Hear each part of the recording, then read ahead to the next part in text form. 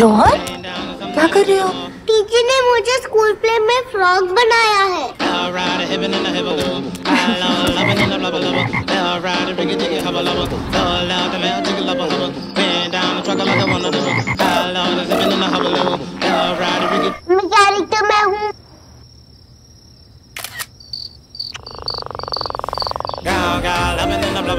फर्श बना है बचपन के लिए।